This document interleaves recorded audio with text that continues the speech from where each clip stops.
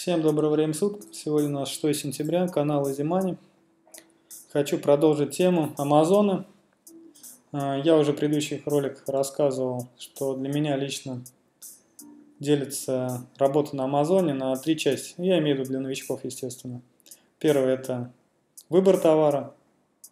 По выбору товара я уже рассказал свое представление. Я считаю творческий процесс и любыми объективными методами, например, там, чек-листами, какими-то технологиями обойтись не получится, потому что много очень подводных камней, э, каких-то нюансов, например, у меня уже несколько знакомых людей, которые начинают этим заниматься, сами говорят, что когда они выбирали товар, когда они выводили на рынок, было конкурентов там, не знаю, 5-10 ключевых, ну 5, например. Вышли они на рынок, некоторое время поторговав, у них прибавилось конкурентов в 2-3 раза больше. Потому что все также ищут, все также одновременно э, выбирают себе товары для продажи. Естественно, начинаются какие-то новые волны. Волнами люди зашли, товар пошел, товар не пошел, они отвалили. Ну и вот такими моментами происходит выбор товара у нас. Это один из таких самых простых, самых очевидных вариантов, что товар, причинами, почему он может пойти, почему не пойти, то есть большое значение имеет, конечно, удача. Ну, это в любом бизнесе так. Течение удачных обстоятельств. Вот. Следующим этапом, я считаю, это купить товар, доставить его конкретно до Амазона. А, вот про этот этап я сегодня буду рассказывать. Третий этап, как я уже говорил, это, естественно, тактика продаж.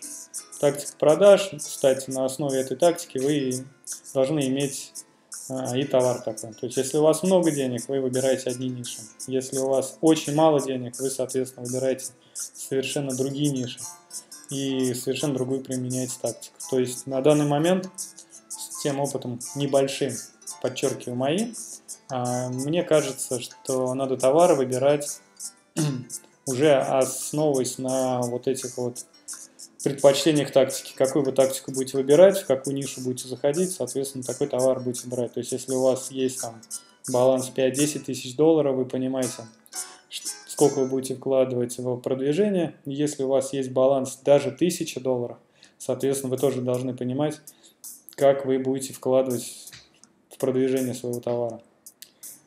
Так, что мы делаем? После того, как мы выбрали товар, ну, как минимум, пяток пяток товара. Мои пожелания на данный момент, ну, естественно, я уже показывал все, по каким причинам, критериям мы отбираем товар. Предположим, мы отобрали товар совершенно разный, из разных ниш. А, предпочтение я бы сделал, естественно, по объективным показателям. Объективные показатели достаточно простые. Это у нас, во-первых, очень важно учитывать тренд, направление. То есть, если сейчас у нас осень, значит она определяться с товаром, который будет расти продажи в зимний период времени. Осень, зима, весна, потому что до лета надо дожить. Естественно, есть товары у нас. Мы не говорим вообще о сезонных товарах, которые только зимние, которые только летние. Я говорю в принципе. Но в любом случае у каждого товара есть свои циклы. И есть э, определенный спад, есть определенный подъем.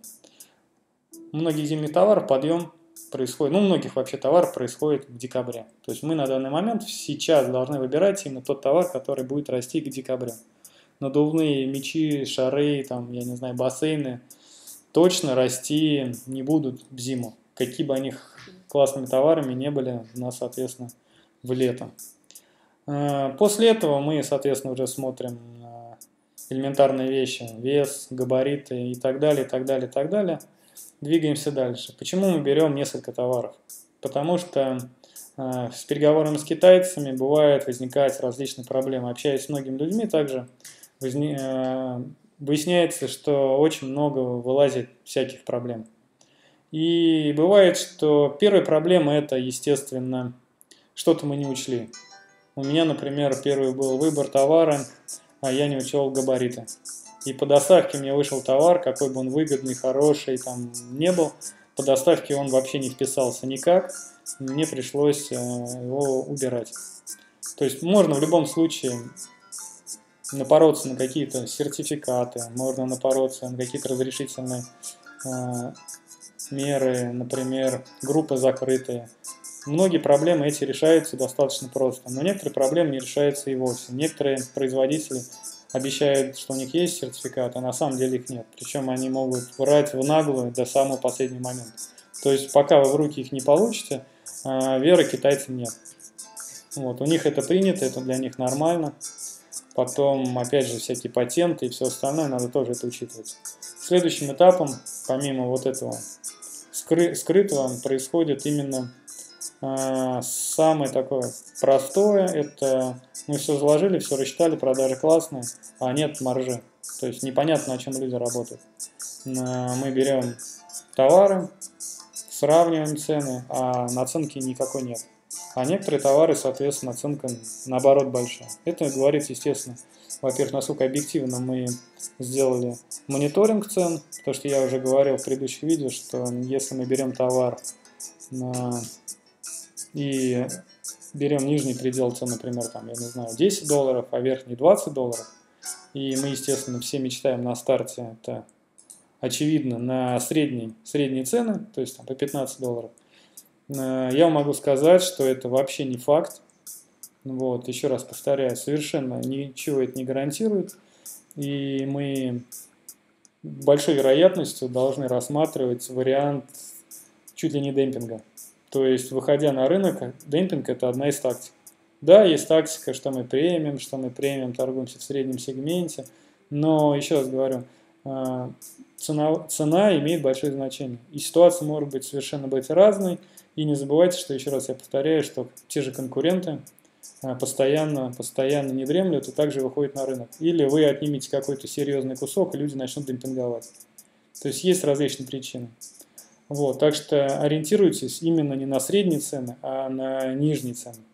Пускай вы не по 10 будете продавать, там 10, 11, там 12 долларов, но никак не 15. То есть, да, бывает, кто-то жестко вообще демпингует, на них, конечно, внимание надо обращать, надо смотреть все равно в первую очередь на первую и вторую страницу. Но не забывайте, сегодня они на первой и второй странице, потом вы пока сделали, месяц пройдет, пока товар уже непосредственно дойдет до самого Амазона. Ну, может, там, три недели. Пока, ну и то это не фантастический вариант. Потому что механизм достаточно простой. Вам надо сначала провести переговоры с китайцем. Если возьмете несколько товаров, ну, как правило, 2-3 товара для того, чтобы в принципе определиться, если нормальные поставщики этого товара, если маржа, вот, вы, соответственно, уже постепенно выбираете по этим факторам, что вам реально ближе, ближе к телу, так скажем, то, что больше нравится. После того, как вы определяетесь с товаром, вы уже с несколькими производителями этого товара начинаете а, торговаться. Торговаться можно разными способами, кому как нравится. Я могу сказать, как я торгуюсь, достаточно прямолинейно. Мне нравится в цвет китайцев а, сталкивать друг с другом. То есть мне дают предложение несколько. Я, естественно, беру в каждой нише максимум производителя. Во-первых, выбираю сам максимум, отсылаем письма, они достаточно стандартные, ничего там такого нет. А у всех, опять же, свой подход писем. Если надо будет кому-то просить, я могу скинуть свои письма но везде в интернете огромное количество бесплатных курсов, все достаточно стандартно и одновременно индивидуально. То есть вы берете базовое письмо и, подкат, и подгоняете его под себя. А, ничего там такого супер страшного, важного нет. А, не надо писать, что вы там мегакорпорация, что у вас там, я не знаю, миллион товаров на Amazon или там где-то в другом месте, и вы там понты колотить, но честно могу сказать, что любого переговорщика в переговорах очень легко раскрыть. И вот эти вот понты, их очень быстро можно поставить на место. Из-за этого подход у всех свой, кому как нравится вести беседу и так далее. Я пишу достаточно просто, что моя компания ищет партнера для торговли на Amazon. Достаточно размыт, размыто и достаточно как бы, ну, понимание есть, что в любом случае ищу на постоянную работу людей себе партнера, так скажем. И все, больше я никаких дополнительных там а, не добавляю. После того, как мне присылают письма на почту, на почту, я, соответственно, беру, проверяю, а, сравниваю цены, практически сразу всем отвечаю, какая меня цена устроит, что у вас слишком дорогая цена. То есть я сразу вижу, по, ориентируюсь сразу по нижним ценам. кто какие предложения. Соответственно, если вы возьмете там 50 заводов, 30, 40 заводов, тем будет для вас проще э, торговаться. Предложения будут поступать совершенно разные. Может быть такая ситуация, как у многих людей, что вы вообще планировали один товар, естественно, вы заходите в нишу этого товара и находите что-то еще более интересное, какую-то новинку, что какой как раз из той серии, что можно ли улучшить товар. То есть, ну, вот такие вот всякие моменты.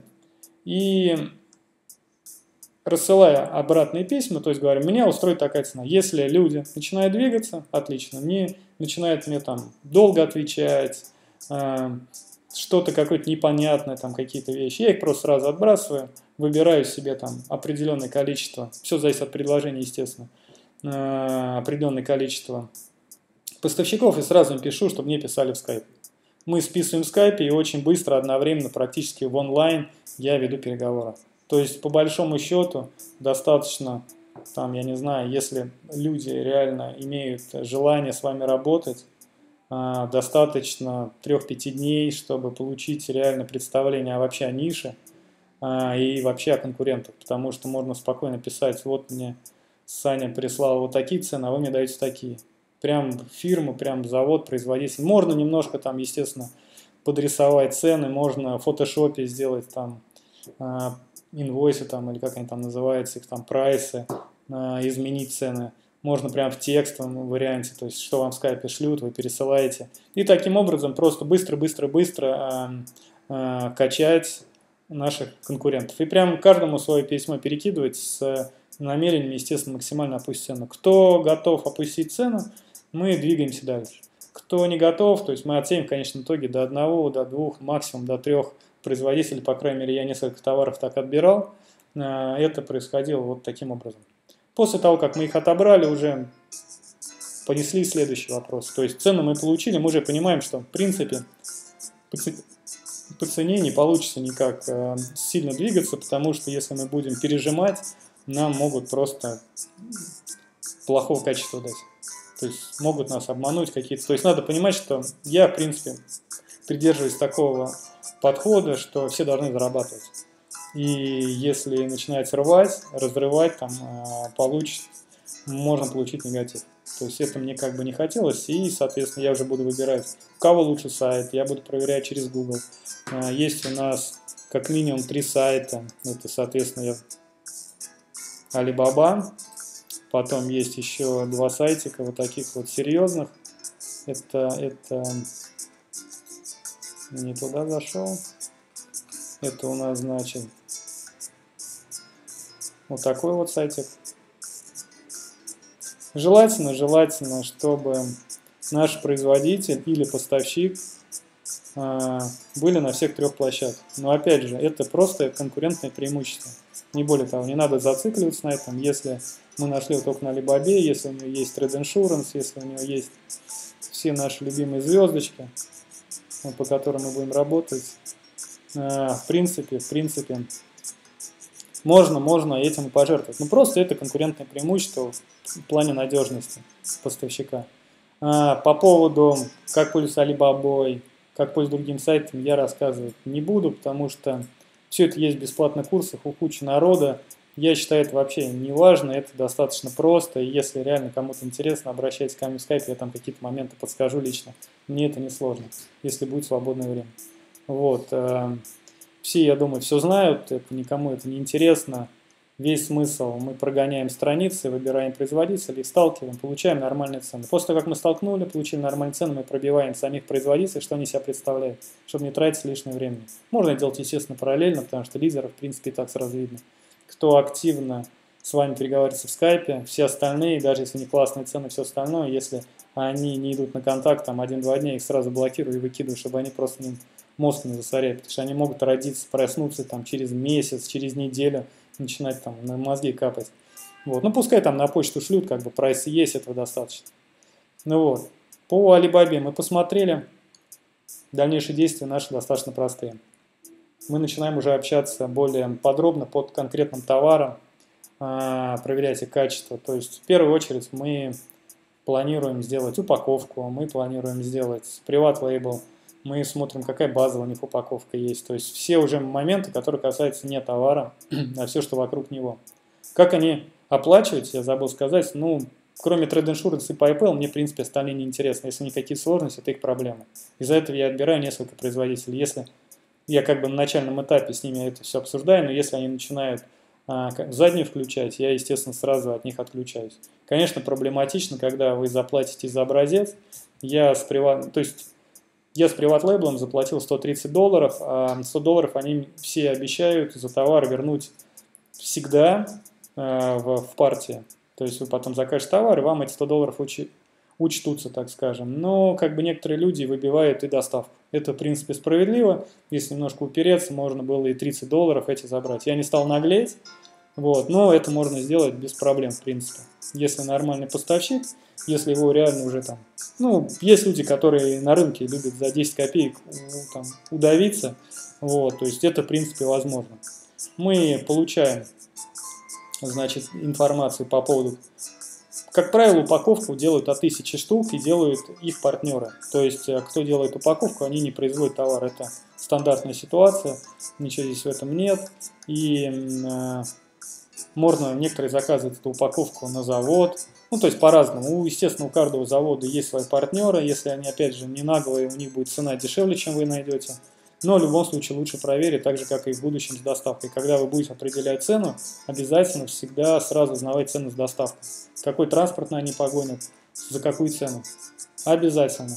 Потому что потом, конечно, в итоге может быть проблема с доставкой. Товар будет готов и будете бегать, искать, кто вам будет его доставлять. Потому что производитель вышлет вам нереальные цены. Я, например, вывозил свой товар, сразу договорился 725 долларов. А, у нас там есть какие там самые такие, это основные, это FedEx, UPS, и что-то с головы вылетел, который конторы вывозил.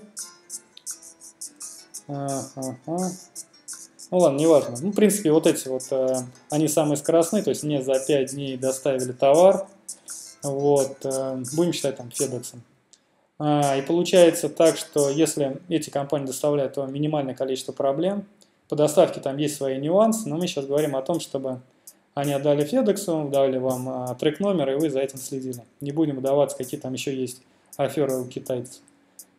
Получается цена за 165 килограмм я дал 725 долларов. То есть вот ориентир это достаточно дорого, но для меня была задача максимально быстро, четко, спокойно отправить товар. Вот. Я не пожалел, за 5 дней товар был на Амазоне, все отлично. Единственный был нюанс, связанный с тем, что в трек-номере а, у этой компании было написано не 165 кг, а 90 И у меня есть на данный момент небольшая недостача товара, то есть набора. Хотя китайцы мне 100 комплектов готовы компенсировать по последующей доставке. То есть они как бы готовы на это. Но в любом случае неприятно, и надо, конечно, контролировать вот этот вес, стоимость, вот эти все моменты тоже учитывать. Такая проблема может быть. У меня вот так. Потом, значит, э, с доставкой мы определились, мы в цену влазим, все нормально, потому что нам нужна конечная себестоимость товара на Амазоне, а не сама цена, которую они произведут нам. То есть нам нужна конечная. По цене мы определились, следующее это приват лейбл, потому что можно гипотетически без привата отправлять, но если без упаковки, это возможно вообще на раз-два, можно второй, третий э, поставкой, когда мы увеличим количество, уже суетиться об упаковке. У всех, естественно, товар разный, все по-разному. Есть товары, которые обязательно в упаковке идут, тогда сам Бог велел. Но мы сейчас говорим именно о среднем варианте. Упаковка не столь важна на первой поставке. Наша задача желательно получить приват. Приват вот мне обошелся на два товара по 50 долларов. За это получилось 100 долларов с доставкой ко мне домой. Потому что они все как бы заявляют, что доставка бесплатна. Но могу сказать, мне некоторые товары присылали и бесплатно. Правда, без приват-лейбла. Вот, без привата они, бывает, и доставку сами оплачивают. Когда они заинтересованы, если вы правильно переговоры проведете, естественно, они будут там очень сильно стараться а, с вами завязать работу. Так что и такие варианты тоже есть. Опять же, все зависит от вашего умения переговоры вести. Получили мы, когда э, ответ по приват-лейблу, крупные, как правило, начинают голову морочить. Ну, по крайней мере, у меня так.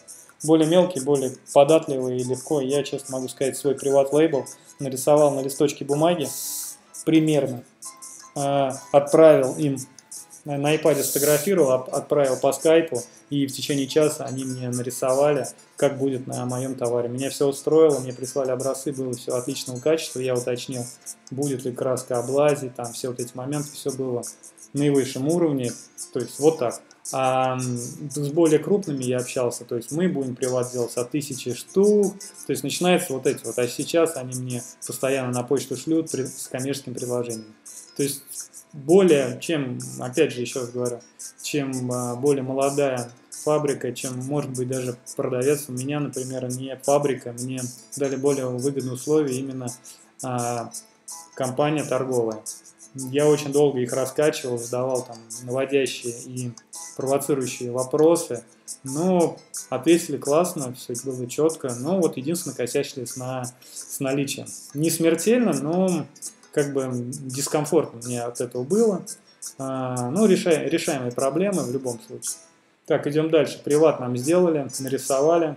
Мы договорились о стоимости, отправили товар э, там туда, куда, где мы живем. Стоимость такая э, дорогая, потому что доставка быстрая. Реально в течение, мне вот в Россию доставят в течение 5 дней. Если через Алиэкспресс, Алибабу я раньше товары заказывал дешевыми там китайскими этими доставками, э, мне выходило в пределах месяца, а через Алиэкспресс вообще в течение двух-трех месяцев.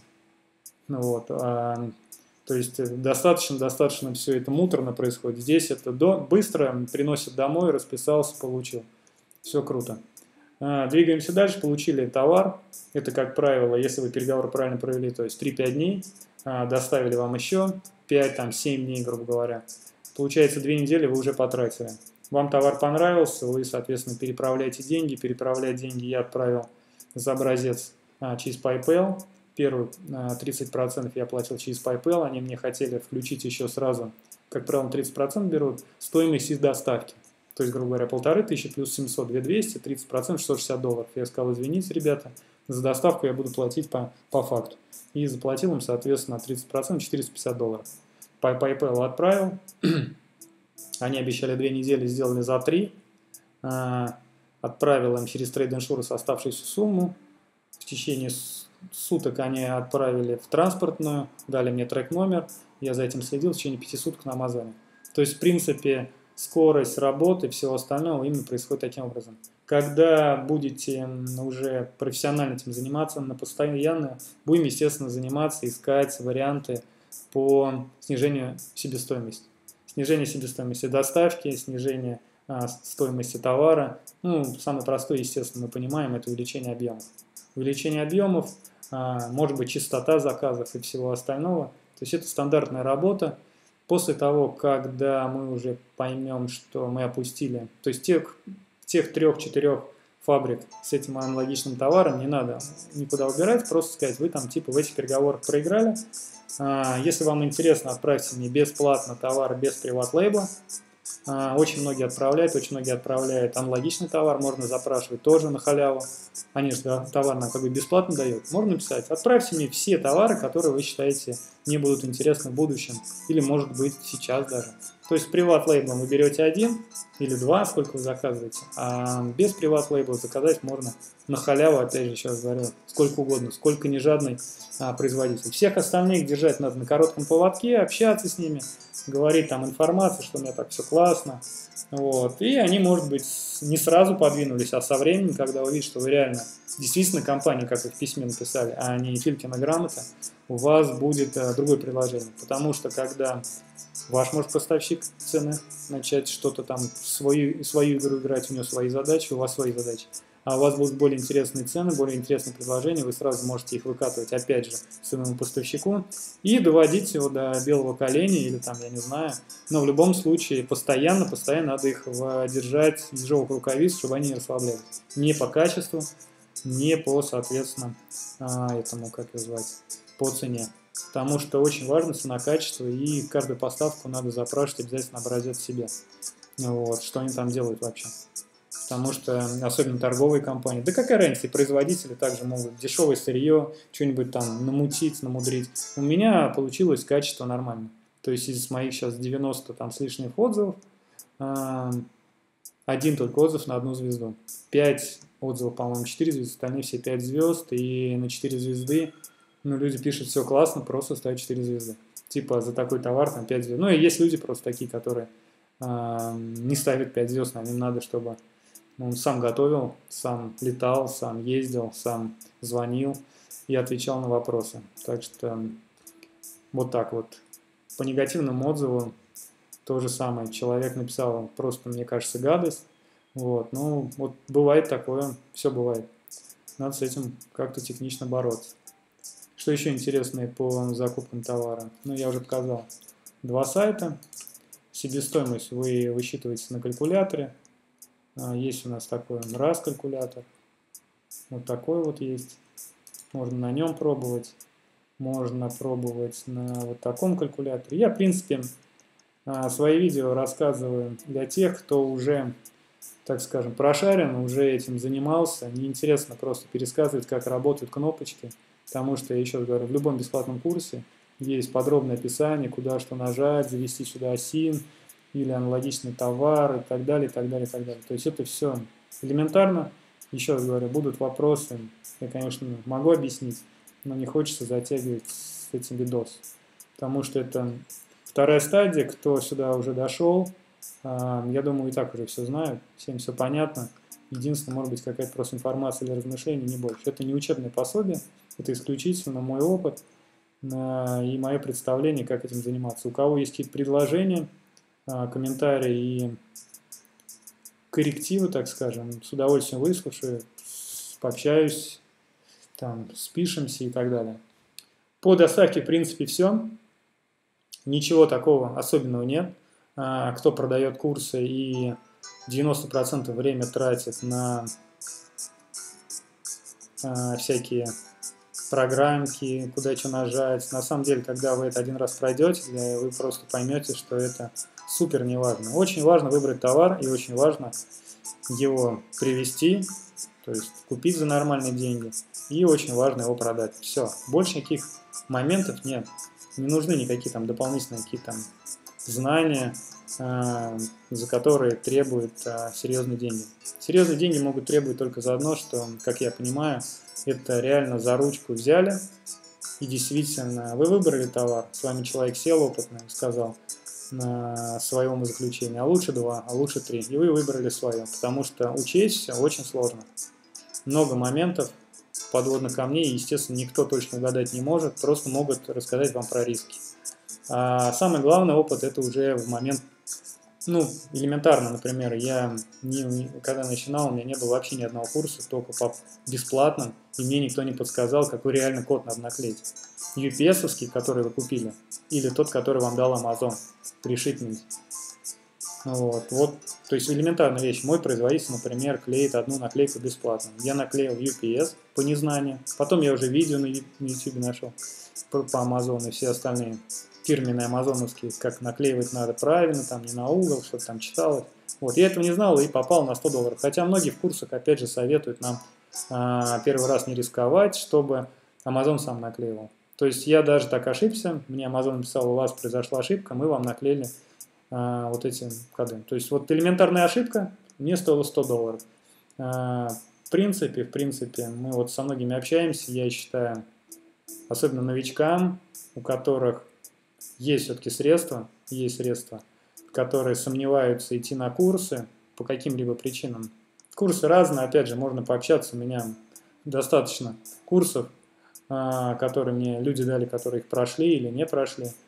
Вот, есть свое мнение, как бы, но в любом случае а, на курсах что-то дают однозначно. Просто единственное, моя, а, мне так кажется, что они просто слишком дорого, вот и все. То есть курсы – это нормальная тема. Нормально учиться – это правильно. Просто не должны курсы стоить, как нам предлагают в курсе, на старт там 2000, сейчас уже пишут, уже не пишут минимальную сумму, уже пишут, э, сколько вы можете заработать. То есть уже такие пошли маркетинговые ходы, типа там, э, как в кино нам уже не Терминатор 2, 3, 4, 5, 6, а уже название, не iPad 1, 2, а уже Air. Также и здесь. То есть уже идет такой подмена такая интересная. И происходит именно... Почему я об этом говорю? Ну, когда вам говорят лозунг «бизнес за 2000 долларов» и с вас берут 1000 долларов за обучение, это кудряво слишком. 10-15% затраты могут быть на обучение, но никак не 50 и не более. А сейчас курсы у некоторых там 2-3 тысячи, ну я не знаю, откуда они эти деньги вообще берут. Вот, из-за этого по курсам я говорю так. И мне, мое личное мнение, у кого все-таки есть какие-то вот в этом отношении задумки, желания, пожелания, это надо желательно, желательно, конечно, кому-нибудь на хвост сесть, более опытным. Это вообще идеальная ситуация, когда человек, но человек а, не то, что там за бесплатно работать не будет, просто он будет просто подсказывать, помогать. Но это очень важно. Очень, очень важно. Вот у меня этого не было, я потерял как минимум тысячу долларов на начиная, вот как я пример делал с наклейки, начиная, например, может быть, надо было мне чуть-чуть поторговаться а, на каких-то моментах, а, опять же, доставка у меня была вот эта вот завышенная, а, то есть через, например, трейд иншуранс с них надо взять, то есть можно было спокойно, вот по каждому, если пункту пробежаться, у меня лично, можно было спокойно даже вот на этом сразу, это долларов 300 скинуть, а, поискать транспорт, но если у людей уже есть опыт, то есть более дешевый, но такой же надежный, скоростной. Это еще, грубо говоря, баксов 200. И самое главное, это будет третья, третья тема, это продажи на Амазоне, тактики совершенно разные. Есть, конечно, как бы базовое представление меня, а, но там можно еще сэкономить на продвижении своего товара сотни долларов. То есть э, в любом случае, в любом случае, если вы найдете себе, я совершенно не советую себя, я говорю о тех людях, которые реально добились какого-то результата, э, есть смысл людям платить, опять же не всем, потому что я сейчас э, общаюсь с многими людьми, мне рассказывают, что сейчас практически все, кто прошел курсы, только-только начали торговать, уже все свои курсы запускают платные. Ну, я не знаю, я не понимаю этого. Чтобы чему-то учить, надо что-то иметь, что-то знать. И те люди, которые реально работают, пашут, и у которых и так все получается, в принципе, им не до курса. Ну, очень маленькое количество, как, там, я не знаю, быть врачом, учителем, а призвание иметь для этого. Ну, я сомневаюсь, что все они имеют призвание, а уж тем более знания такие, которые реально помогут. Но в любом случае, если вы найдете такого человека, который вас будет э, курировать, так скажем, на курсах, наверное, такие есть люди, но там берут действительно там серьезные деньги, а дают информации из бесплатных курсов. И да тут там, я не знаю, вот если в какое-нибудь сообщество зайдете, вам и так этих программ накидают, там, я не знаю, с горой. Просто нет вообще таких проблем. Я уж про курсы-то вообще молчу, что особых там сильно покупать смысла нет, там люди обмениваются в интернете вообще без проблем. Вот. А конкретно про какие-то там знания. Единственное, единственное, я говорю, если это есть общение, закрытые группы, в которые попасть не, не вариант, тебе лично вот кто-то ведет. Один или несколько. Если в Facebook-группе и вам помогает много людей, но не лично, не близкий, так скажем, я не знаю, что лучше. Лучше, конечно, найти профи, который действительно серьезный и грамотный. Вот. То он вам поможет реально, то есть 300-500 долларов это точно этого стоит. Я вот уже сделал вывод по себе, вот. Так что всем советую если вы этим занимаетесь, если кто не готов платить за курсы или вообще, в принципе, не хочет, как и я, я потому что, в принципе, ну, как бы, я не проходил курсы и ничего не могу сказать по этому поводу. Хотя их, естественно, видел. А, но, но найти человека, который вам будет вас вести, это правильно. То есть не, не, не так скажем, не, не отбрасывайте такую возможность. Плюс я еще скидывал в предыдущих видео про человека, который на форуме бесплатно консультирует и по скайпу за денежку, там за час 25 долларов берет. Тоже достаточно такой нормальный вариант. А, причем там не так, нет такого подхода, знаете, там закиньте мне сначала бабок, потом я вам что-нибудь расскажу. Мне вот, например, я с ним вообще пообщался, мы договорились еще раз о встрече. Точнее, я пообщался, просто все узнал, все показал. С меня денег не взяли, потом еще раз мы с ним пообщались, далеко не час, а несколько часов. И потом он мне там, я не знаю, он говорит, я вообще, это не некогда был, я забыл. Через там две недели мне выставил счет по PayPal, и я мне 25 долларов оплатил. То есть подход мне нравится, если вас что-то не устроит, вы можете не заплатить. Нет такого, чтобы платить все вперед. Тоже тема нормальная. Если опять же кому-то это интересно, видео предыдущий смотреть лень, напишите, я вам скину человека. Или, по крайней мере, хотя бы на форуме. Это и по eBay касается, и по Amazon то же самое. В принципе, все. Следующий видос будет по тактике продаж, то, что я знаю, опять же, какие варианты я на данный момент попробовал. Именно свой опыт, не более того. Потому что я сейчас, например, через Facebook огромное количество мне SEOшников предлагает свои услуги. Просто огромное. Я над ними просто тащусь. Есть сервисы, сайты, на которых уже есть а, какая-то история у этих людей, то ну, туда есть смысл обратиться, особенно написать тоже описание, description, title, а, там, примерно 50 баксов стоит. Если, грубо говоря, там кайфолом или доверяете им больше, чем себе, ну, в принципе, это нормально. А SEO продвижение я на данный момент убогий человек, никак не допру, как они через SEO могут продвинуть на первую страницу товар. Не могу понять. Я понимаю, что двигается товар за счет тайтла и э, этих сам кейвордов. Вроде все сделали, но как это повлияет, потому что я вижу реальную динамику от продаж. Продал ты сейчас, я не знаю, там 10 штук, у тебя бестселлер скаканул, у тебя все скакануло. Не продал, у тебя все вниз. Местоположение на страницах меняется реже, но также меняется в зависимости от этого. То есть продаешь ты 5 дней, стабильно много, ты, естественно, двигаешься по этой ключевой фразе. Нет, ты двигаешься в обратном направлении. Вот, то есть вот такая вот история. В принципе, все. Как обычно, лайки, дизлайки, комментарии. Э, подписан на канал.